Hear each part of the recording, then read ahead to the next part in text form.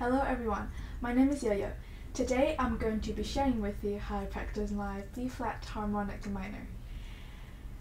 B-flat harmonic minor is a relative minor to D-flat major. Its key signature is B, E, A, D, G flats. For both ascending and descending, we raise the seventh note. So A flat becomes A natural. The pattern for ascending is tone, semitone, tone, tone, semitone, augmented second semitone.